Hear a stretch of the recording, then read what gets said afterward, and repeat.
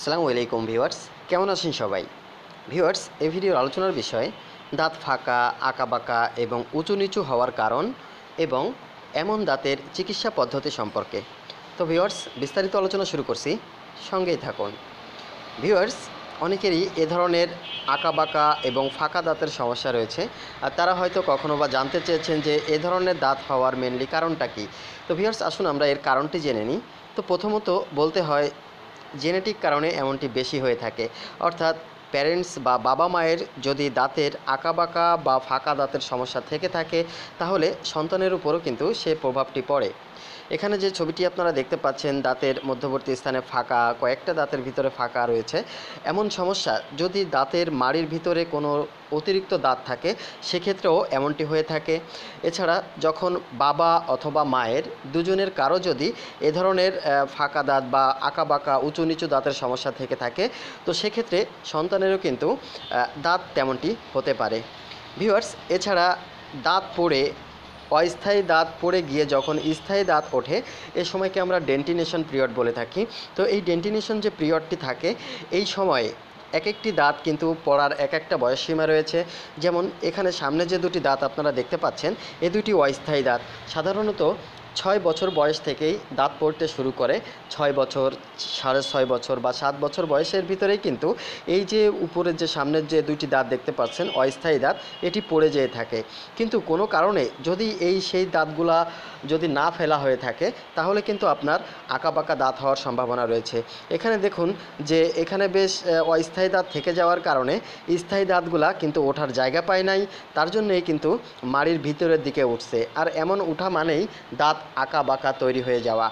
তো অস্থায়ী দাঁত যদি দীর্ঘদিন দাঁতের মাড়িতে থেকে যায় অথবা অ্যাডভান্স ফেলে দেওয়া হয় অস্থায়ী দাঁত, সেক্ষেত্রেও কিন্তু এ ধরনের আঁকা বাঁকা দাঁত হওয়ার সম্ভাবনা থেকে যায়। যে বয়সে যে দাঁতটি পড়ার কথা রয়েছে, সেই বয়সে যদি সে দাঁতটি না নড়ে, তাহলে অবশ্যই ডেন্টিস্টের কাছে গিয়ে দেখানো উচিত এবং তার পরামর্শ অনুযায়ী দাঁতটি ফেলে দেওয়া উচিত। যদি আপনি অস্থায়ী দাঁত মাড়িতে এভাবে পুষে রাখেন, তাহলে আপনার যে স্থায়ী দাঁতগুলো আসবে, সেগুলো কিন্তু এমনটি বাঁকা হয়ে উঠতে পারে। এখানে দেখতে পাচ্ছেন যে সামনে যে দুটি দাঁত এই দুটি দাঁত অস্থায়ী দাঁত, আর এই অস্থায়ী দাঁত যথাসময় না ফেলার কারণে নিচ থেকে স্থায়ী দাঁত উঠছে। আর সেই স্থায়ী দাঁতগুলো কিন্তু দেখছেন যে যথাস্থানে ওঠেনি। অস্থায়ী দাঁত এখানে জায়গা করে আছে, তার জন্য কিন্তু জায়গা না পাওয়ার কারণে ভিতর থেকে উঠছে। তো এটাই মূলত আঁকা বাঁকা যে দাঁতগুলো হয়ে থাকে, সেগুলো মূলত এ ধরনের সঠিক সময়ে সঠিক দাঁতটি না ফেলার কারণেই আঁকা বাঁকা দাঁতের তৈরি হয়ে থাকে। ভিউয়ার্স, এছাড়া দেখা যায় যে এ ধরনের বাঁকা এবং ফাঁকা দাঁত অনেকেরই দেখা যায়। যখন দাঁত পড়ে গিয়ে অস্থায়ী দাঁত পড়ে গিয়ে স্থায়ী যে দাঁতগুলা গমন হতে থাকে, ঠিক তখনই যদি কোনো শিশু বা সে যদি কোনো ধরনের শক্ত খাবার টেনে ছিঁড়ে খায় সামনের দাঁত দিয়ে কামড় দেয়, অনেক জোরে সরে এমন কামড় দিতে থাকে, তাহলে দাঁত এমন ধীরে ধীরে উঁচু হতে থাকে আর যখন ধীরে ধীরে উঁচু হতে থাকে, সেটি কখনোই নিচের দিকে যায় না, সেটি ধীরে ধীরে কিন্তু উঁচু হতেই থাকে। যেমনটি এখানে দেখতে পাচ্ছেন, দাঁত পড়ে দাঁত ওঠার সময় কোনো শক্ত খাবার, পেয়ারা জাতীয় খাবার, আখ বা ইক্ষু এগুলো সামনের দাঁত দিয়ে কামড়া, কামড় দেওয়ার কারণেই এ ধরনের সমস্যা বেশি হয়ে থাকে। যদি একবার দাঁতের, দাঁত উঁচু হতে শুরু করে, তাহলে ধীরে ধীরে সেটি বাড়তে থাকে। তো এ ধরনের দাঁতের যে ট্রিটমেন্ট যা বা যে চিকিৎসা পদ্ধতি রয়েছে, সে সম্পর্কে আমি এখনই আলোচনা করব ভিউয়ার্স যদি ফাঁকা দাঁতের সমস্যা হয়ে থাকে, তাহলে সেই ফাঁকা দাঁতের চিকিৎসার কয়েকটি পদ্ধতি রয়েছে, স্থায়ী এবং অস্থায়ী।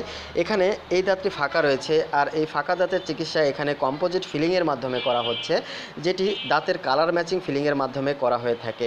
এ বিষয়ে আমার চ্যানেলে কয়েকটি ভিডিও দেওয়া আছে, চাইলে সেগুলো বিস্তারিত দেখে নেবেন। ভিউয়ার্স, এখানে যে ছবিটি আপনারা দেখতে পাচ্ছেন, এখানে এই দাঁতটি কিন্তু ফাঁকা ছিল আর সেই ফাঁকা দাঁতটি কিন্তু ফিলিংয়ের মাধ্যমে এখানে পূরণ করে দেওয়া হয়েছে। কম্পোজিট ফিলিংয়ের মাধ্যমে বা লাইট কিওর ফিলিংয়ের মাধ্যমে এটি করা হয়ে থাকে। এখানে দেখুন যে এই ফাঁকাটা কিন্তু এখানে বন্ধ করে দেওয়া হয়েছে। আর তার জন্য এই যে যে দুটি দাঁত দেখা যাচ্ছে, এই দুইটি বেশ বড় দেখা যাচ্ছে। কারণ হলো, এখানে মেডিসিনের মাধ্যমে ফিলিং করে এখানে বন্ধ করা হয়েছে। আর তার জন্যই কিন্তু এখানে বেশ দাঁত দুইটা কিছুটা বড় দেখা যাচ্ছে। আর এমনটি হয়ে থাকে যদি আপনি ফিলিংয়ের মাধ্যমে ট্রিটমেন্ট করে দাঁতের ফাঁকা বন্ধ করেন। ভিউয়ার্স, এখানে আপনারা ব্রেসেস ট্রিটমেন্টের ইয়েটা দেখতে পাচ্ছেন। যদি দাঁত এমন ফাঁকা থাকে, আর সেই ফাঁকা দাঁতের যদি আপনি স্থায়ীভাবে যে আর কখনো ফাঁকা হবে না, আমি, আপনি ফিলিং করাতে চাচ্ছেন না ফিলিংয়ের ট্রিটমেন্টটি স্থায়ী চিকিৎসা নয়। যবে, যদি আপনি এমন ফাঁকা দাঁতের জন্য আপনি যদি স্থায়ী চিকিৎসা করাতে চান, তাহলে ব্রেসেস ট্রিটমেন্ট করাতে হবে। এখানে যে এখানে যে সিস্টেমটা আপনারা দেখতে পাচ্ছেন, এটিকে আমরা ব্রেসেস ট্রিটমেন্ট বলে থাকি। আর এই ব্রেসেস ট্রিটমেন্টে আপনার অনেক দিন সময় লাগে দাঁতের কন্ডিশনের উপর নির্ভর করে কারও ছয় মাস, কারও চার মাস, কারও বা এক বছর, দু বছর পর্যন্ত কিন্তু সময় লাগে এ ধরনের দাঁতের ট্রিটমেন্টের জন্য। এখানে যে পজিশনটা আপনারা দেখতে পাচ্ছেন, দু দাঁতের মধ্যবর্তী স্থানে কিছুটা ফাঁকা রয়েছে। এমন এমন সামান্য ফাঁকায় যদি আপনি ব্রেসেস ট্রিটমেন্ট করান, তাহলে অন্তত সাত থেকে আট মাসের মধ্যে কিন্তু এমন ফাঁকা স্থায়ীভাবে বন্ধ হয়ে যায়। কোনো ধরনের ফিলিং করার প্রয়োজন হয় না, কোনো ধরনের ক্যাপ করার প্রয়োজন হয় না। শুধুমাত্র এই ব্রেসেস ট্রিটমেন্টের মাধ্যমেই এ ধরনের ফাঁকা দাঁতের আপনার স্থায়ীভাবে কিন্তু চিকিৎসা করিয়ে নিতে পারবেন। ভিউয়ার্স এখানে যে সমস্যাটি আপনারা দেখতে পাচ্ছেন, এখানে আঁকা, বাঁকা এবং উঁচু নিচু দাঁতের সমস্যা রয়েছে। এখানে দেখুন যে এই দাঁতটি বেশ নিচু হয়ে গেছে। আর প্রথমেই আপনাদেরকে বলেছিলাম যে যদি কিনা অস্থায়ী যে দাঁতগুলা থাকে, অস্থায়ী দাঁতগুলা যথাসময়ে যদি আপনি না ফেলে দেন, তাহলেই এ ধরনের আঁকা বাঁকা উঁচু নিচু দাঁতের সৃষ্টি হয়। এখানে যে ছবিটি আপনারা দেখতে পাচ্ছেন, এখানে দেখুন এই যে যে দাঁতটি রয়েছে, এই দাঁতটি বেশ ভিতরের দিকে চলে গেছে, নিচের দিকে, এবং এই দাঁতটি বেশ বাঁকা হয়ে গেছে, এবং এখানে দাঁতটি নিচের দিকে রয়েছে। তো ভিওর্স এ ধরনের দাঁত যাদের রয়েছে তাদের অবশ্যই ছোটোবেলায় যখন দাঁত পড়ে নতুন দাঁত উঠবে, তখন অসচেতনতার জন্যই কিন্তু এই ধরনের বাঁকা দাঁত বা আঁকা বাঁকা দাঁতের একটার উপরে একটা দাঁত উঠে আছে। এ ধরনের সমস্যা তখনই সৃষ্টি হয় যখন আপনি অস্থায়ী দাঁত না ফেলে যদি মাড়িতে রেখে দেন যথাসময় না ফেলার কারণেই এ সকল সমস্যা হয়ে থাকে। তো ভিওর্স এ ধরনের আঁকা, বাঁকা, উঁচু, নিচু এবং ফাঁকা দাঁতের স্থায়ী চিকিৎসা একমাত্র এই ব্রেসেস ট্রিটমেন্টের মাধ্যমেই আপনি করাতে পারবেন। অন্য যে ট্রিটমেন্টগুলো রয়েছে, তার কিছু পার্শ্ব প্রতিক্রিয়া থেকে যাবে। কিন্তু আপনি যদি এই ব্রেসেস ট্রিটমেন্টটি করান এমন ফাঁকা এবং উঁচু নিচু আঁকা বাঁকা দাঁতের জন্য, তাহলে তার কোনো পার্শ্ব প্রতিক্রিয়া থাকবে না। এ ধরনের দাঁতের জন্য একমাত্র উপযোগী চিকিৎসা হলো ডেন্টাল ব্রেসেস বা এখানে মেটাল ব্রেসেসও বলা যায়। তো এই ব্রেসেস ট্রিটমেন্টের মাধ্যমে উঁচু নিচু, এমন উঁচু নিচু আঁকা বাঁকা দাঁতের চিকিৎসা হয়ে থাকে। ভিউয়ার্স, এখানে যে দাঁতের ছবিটি আপনারা দেখতে পাচ্ছেন, এমন দাঁতে যদি আপনি ব্রেসেসের মাধ্যমে ট্রিটমেন্ট করান, তাহলে মোটামুটি আট থেকে নয় মাস বা সর্বোচ্চ গেলে এক বছরের মধ্যে এ ধরনের দাঁতের ট্রিটমেন্ট ঠিক এমনভাবে করে নেওয়া যায়। এখানে পূর্বের অবস্থা দেখানো হচ্ছে আর এটি ট্রিটমেন্ট চলছে এমন অবস্থায় কিন্তু ছবিটি নেওয়া হয়েছে। তো এমন দাঁতের জন্য অবশ্যই আপনাকে ব্রেসেস ট্রিটমেন্ট করাতে হবে।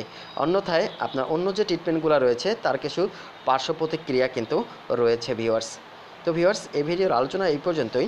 ভিডিওটি ভালো লাগলে শেয়ার করবেন আর চ্যানেলটি ভালো লাগলে সাবস্ক্রাইব করে রাখতে পারেন দাঁত সম্পর্কে জানার জন্য। সবাই ভালো থাকবেন। আসসালামু আলাইকুম।